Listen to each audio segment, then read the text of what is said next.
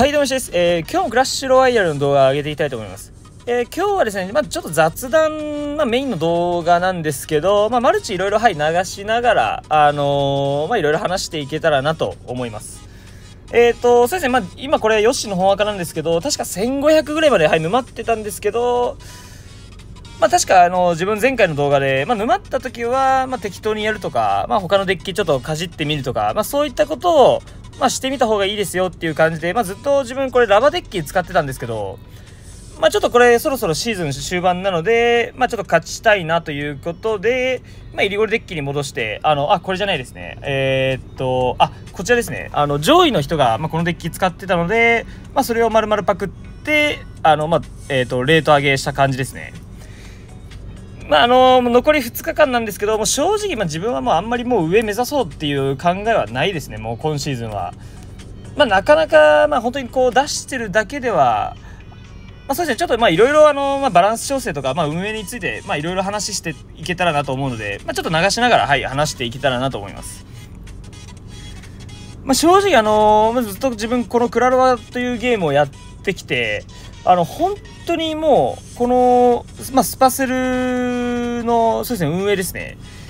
正直な話、やっぱりすごい優秀だなと思ってます。やっぱりなんでかというと、こう、まあ、今さっき紹介した、えっ、ー、と、まあ、3.5の、まあ、出すだけデッキですね。まあ、前シーズンだったらもう、あの、あのデッキでもう確か、あの、3つのアカウント2300レートまで行ったんですけど、まあ、今回だったら正直あのデッキだったら多分おそらく1700とか1800ぐらいで多分終わると思うんですけど、まあ、なので、こう、ある意味、正直、あの、運営は、あの、多くのユーザーを救ったのかなといった感じですね。もう本当にこう、まあ、エリゴルデッキに、こう、ボコボコにされて、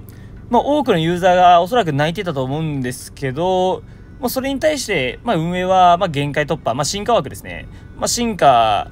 限界突破作ってそれでまあ今だったらまあロケット砲士がぶっ壊れなんですけど、まあ、その入りゴレの、まあ、出すだけに対してもうロケット砲士とか、まあ、ボムタワーでも守れるその状況を作ったっていうことに関しては正直あの、まあ、個人的にはやっぱりこうバカを救ったのかなといった感じですね。まあ、自分もあのホグクエイクのデッキ使ってエリゴレと当たったんですけど、まあ、エリゴレデッキずっと使っててホグクエイとかあのホグクエイクのデッキ使ったことない自分からしてももう簡単にあれ守れることできたのでもう本当にこうもう運営はある意味あの、まあ、優秀だなといった感じですね。まあ、多くのこうバカの声を拾ってそれで考えてか、えー、考えた結果もうこういった、まあ、ロケット砲士のまあ、性能を、まあそうですね、まあいろいろまあロイジャイとかもあるんですけど、まあ特に進化バーバリアンですね。まああれも正直ちょっと出すだけデッキだともう正直なかなか突破できないので、もう本当にこう運営は優秀かなと、まあいった感じですね。まあ、今回のシーズンに関しては、やっぱりもう3.5のデッキだともう正直無理なので、まあ、今回これ、あの、まあ、今、現環境に適したエリゴリデッキだと思うんですけど、もう本当にこう、まあ、このゲームをこうずっと自分が長く続けてられる理由が、まあ、分かった気がしますね。もしこれ運営がもう全然、あのー、もう無能とかだったら、もうおそらく自分このゲーム、はい、やめてます。もう今回もこれ、まあ、ラバデッキで相手、ファイボヤナメなんですけど、あのー、まあ、このデッキに関して、まあ、エリゴレデッキですね。今回のロケット星の入ったデッキに関して言うと、これ相手、あの、ファイボヤナメ、あの、ライドラに使っちゃうと、これロケット星が生きて、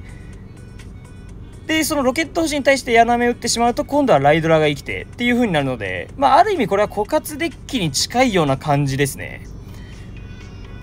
まあ相手からしたらちょっとこれは、あのー、まあ嫌なのかなといった感じですね。まあどっちに割いたらいいのか、おそらく迷ってると思うので、まあこのようにあの、ファイヤーボールと柳目があっても、まあ本当にこう、デッキ次第で、もういろいろこう、もう改善できたりするので、やっぱりもうクラロワっていうゲームはもうあのもう本当に単純にすごいですね。もう8枚のカードを選んで、それでもういろんなデッキが生まれるの、あの、生まれてるので、もうそれはもうあの、まあ、毎シーズンこうバランス調整がま行われると思うんですけど、もう本当にいろんなデッキが生まれて、もういろんなぶっ壊れが生まれるので、まあ、今回これ自分、まあ、ロケット星使って、もうこれ、入りゴリのゴリ押しで勝ってないんですよね。もう、あの、もうロケット星の、もう、もうロケット星を射抜いて、それで勝ってる感じなので、まあ、なので、あの、もうこう、ユニットでこうゴリ押す時代が、まあ、ちょっと正直終わっちゃったのかなといった感じですね。もう今はもう間違いなく、もうこれ、進化ロケット星の時代なので、まあ、その時代に乗っかることがまあ大事ですね。本気で勝ちたいならですけど。で、も本当にもっと本気で勝ちたいなら、もうイリゴリデッキ使うんじゃなくて、まあ、ディガーウォールブレーカーとか、まあ、ホグクエイクとか、まあ、ロイジャーデッキだとか、まあ、ああいったデッキ使ってる方が、まあ、正直、はい、いいです。で、そもそもあの、自分がなんでイリゴリデッキ使い始めたのかっていうことに関してなんですけど、もう本当にこう、まあ、ずっと、もうこれさっきも言ってるんですけども、本当にこう出してるだけで、あの、勝てるからです。本当にこう、ただただユニットを固め出しして、まあ適当に穴埋めとかレイジとか打ってるだけで、それであの、確か前シーズン2300いってるので、で、あとこう、本当にもう、な、他のことしながらプレイできたっていうのもまあありますね。もう、あの、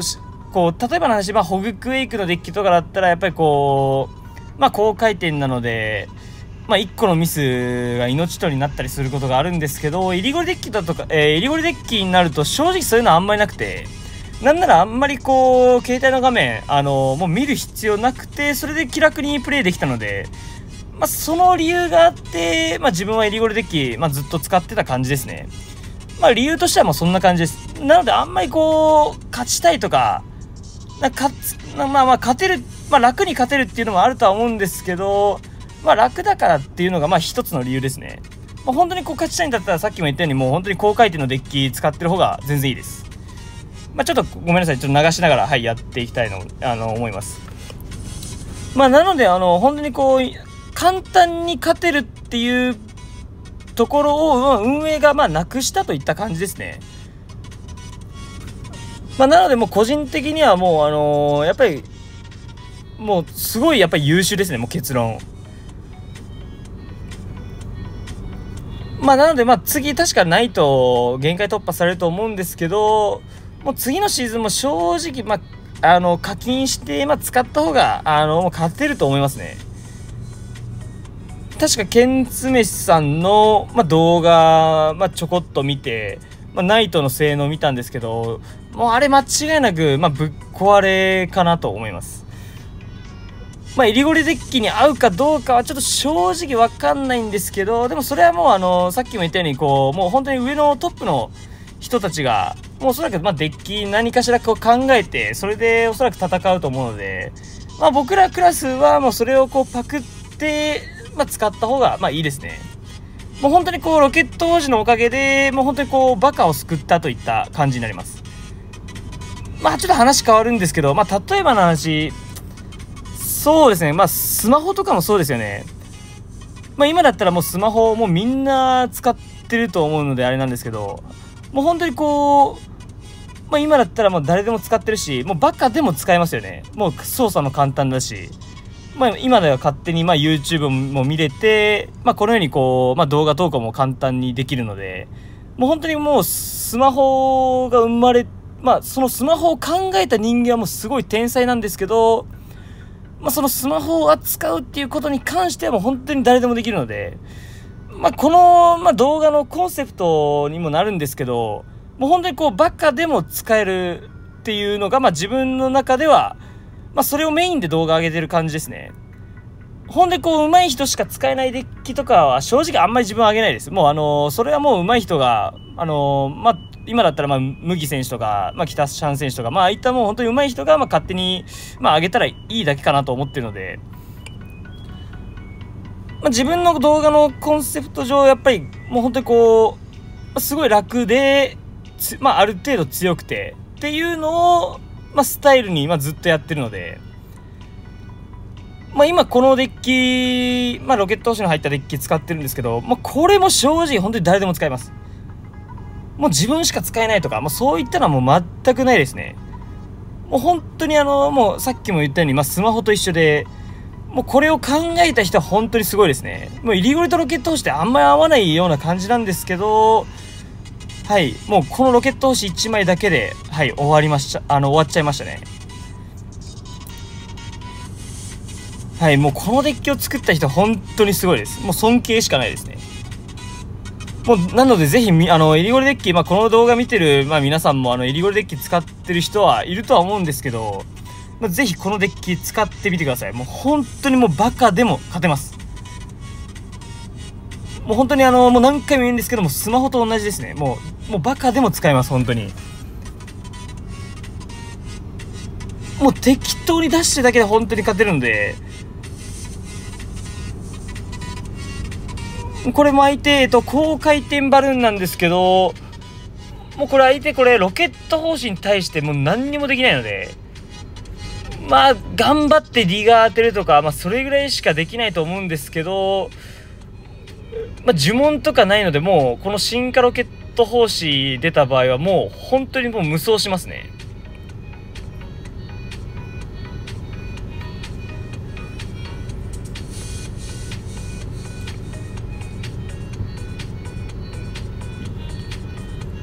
もう相手からしたら本当にこれ、もうこのシンガロケット砲車あるだけでも絶対まあ嫌かなと思います。まあ、なんで、まあ、話戻るんですけど、やっぱりこう、まあ今、今までだったら、まあ、出すだけデッキですね。まあ、3.5の出すだけデッキあったと思うんですけど、もうあれがもう、おそらく、まあもう、おそらくというかもう、あれですね、もう、ほぼ角でもう使えなくなりま、あの、な、なっちゃいましたね。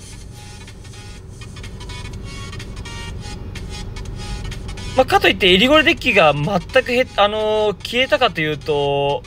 やっぱりそうではなかったですね。まあ、一部のプレイヤーはやっぱり使ってますね。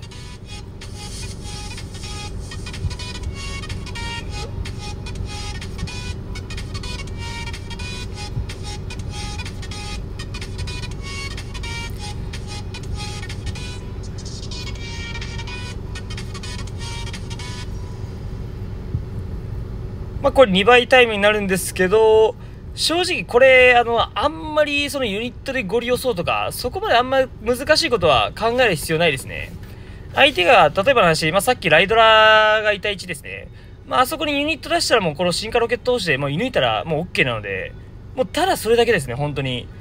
今までこうユニットでゴリ押しで通んない以上は、まあ、このようにあの進化ロケット星、はい、出してあげると、もう本当にこれ削れます。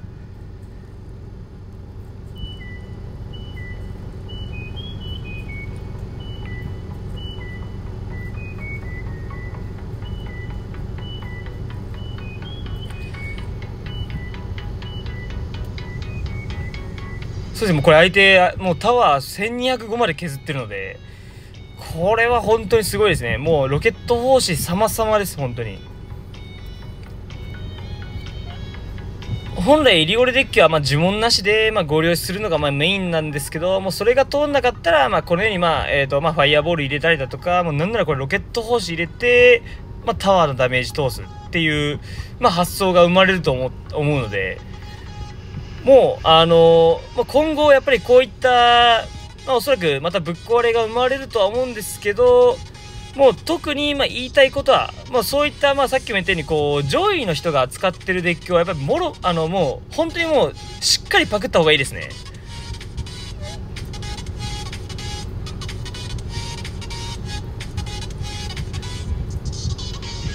これ自分も正直なんでこんな削れてんのっていう感じなんですけど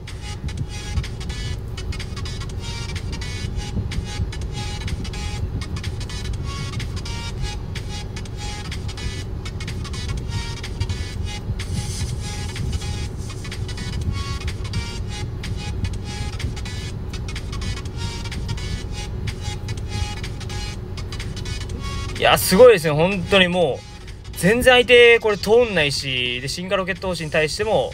はい、何にもできないし、もう、はい、もうご覧の通り、もう、進化ロケット星だけでもここまで削っちゃってるので、これはもう、すごいですね。もう、まあ、何回も同じこと言ってるんですけど、このデッキを考えた人が本当にすごいです。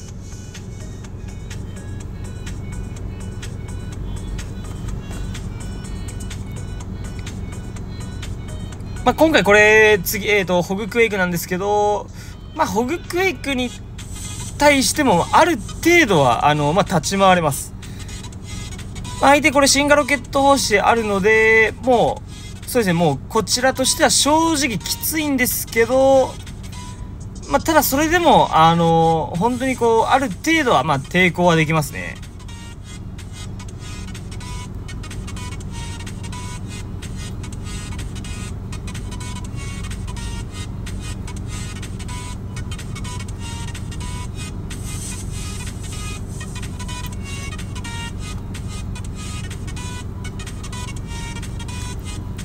ままず大事なのは、あんまりもう初手でご利用しない方がいいです。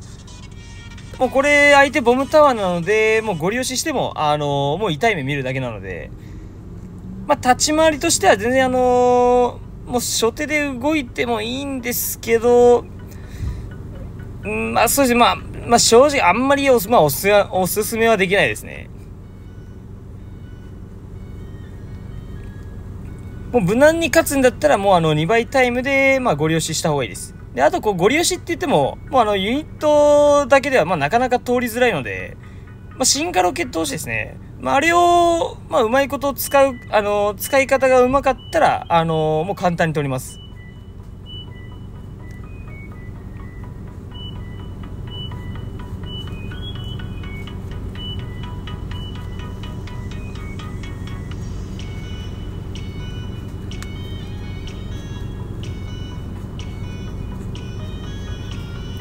で、相手これ、そうですね、あの、進化してなかったんですね。まあ、なので、あの、すごい運が良かったです。はい。これ、進化ロケット星だったら、もうおそらく、あの、まあ、負けてたかもしれないです。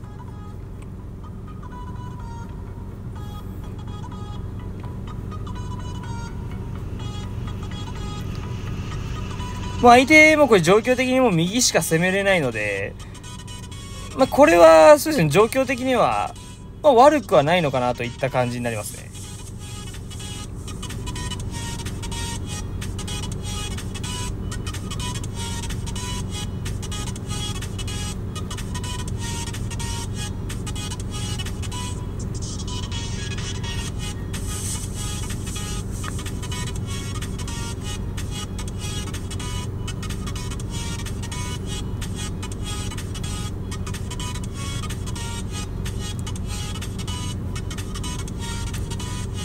まあ、やっぱり、まあ、どの環境もそうなんですけど、やっぱりこう、ラバデッキじゃないと、やっぱりなかなかホグクエイクに簡単に勝つのは、まあ、正直、まあ、難しいですね。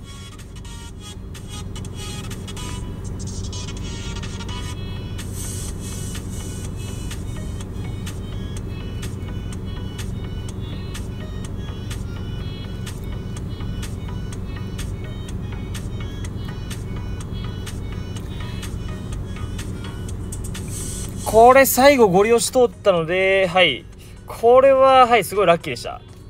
まあ、ただ、進化ロケット方式だったらもうあの100%負けてましたね。っていうぐらいもう本当にあの進化ロケット方式はもうかなり強いです。まあ、ただそのバカのために、まあ、こういった、ま、ユニットを、まあ、生み出した運営はもう、はい、さすがだなといった感じですね。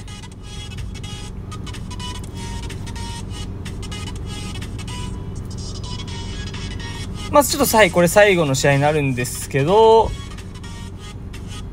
もう基本的にはもうあのユニットでゴリ押すっていうのも大事なんですけど、ちょっとなかなかそれは難しいって感じた場合はもうロケット方針にしっかり頼って、まあ、射抜いてあげるっていうことがまあ大事ですね。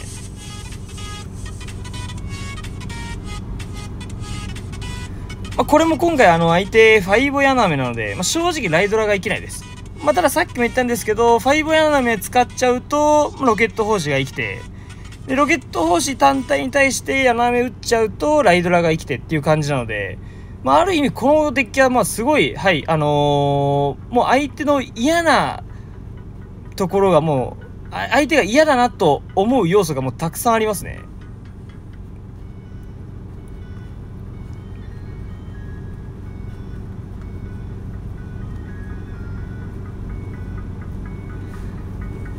もう、もうロケット砲士がなかいなかったら、もう絶対負けてますね。もうあの、普段の、まあ、エリゴリデッキとかだったら、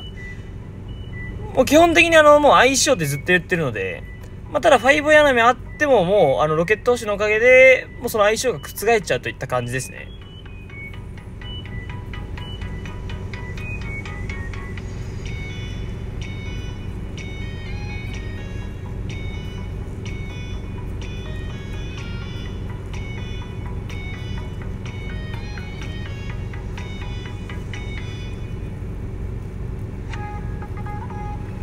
そうですね、これ5ヤナメ打っちゃうと、相手はこのロケット星に対して何もできなくてっていうサイクルがずっと続くので、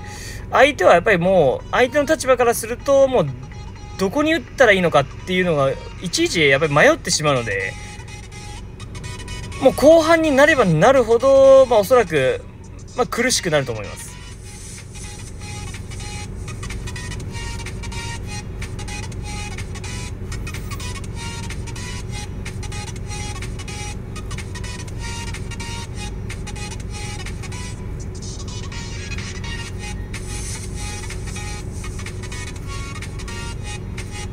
まあ、それちょっとゴレ、ゴレデッキなので、まあ、あんまり11にしても、正直状況、まあ、よくはならないんですけど、まあそうですね、もう、こうならざるを得ないので、やっぱ大型デッキ、これ、思いっきり形組まれて、攻められちゃうと結構もうほぼほぼどうしようもできないので、まあこれはまあ仕方ないですね。ただもうこれロケット星のおかげでもう気づいた気づいたらもうゴレの光栄もうほぼほぼ全部死んでるので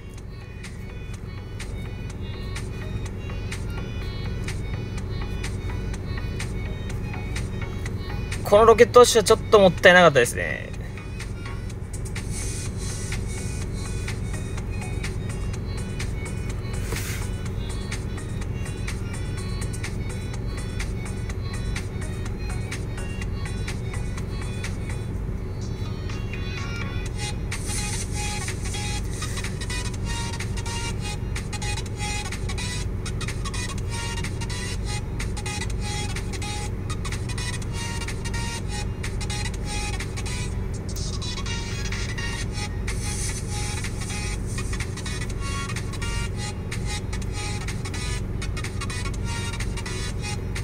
まあこれ状況かなりきついんですけど、それでもこれ相手施設がないので、もう、これ見てもらったらあれなんですけど、はい、肩出しエリゴレとランバーですね。もうこれやっちゃうと、まさすがにもう、ノーダメで抑えるっていうのはもうほぼほぼ無理で、で、しかもこれもう見てもらったらあれなんですけども、ロケット王子まで出しちゃうと、もう絶対に守れないです。もう本当にもうすごいですね、はい。はい、今日の動画は以上になります。また、マルチの、そうですね、もうリプレイ動画出していきたいとは思うんですけど、ちょっともうシーズンも残りわずかなので、まあ、出すかどうかちょっとわかんないですね。まあ、出せたら、はい、あの、まあ、また出していきたいと思うので、そちらの方もご視聴よろしくお願いします。えー、今日はどうもありがとうございました。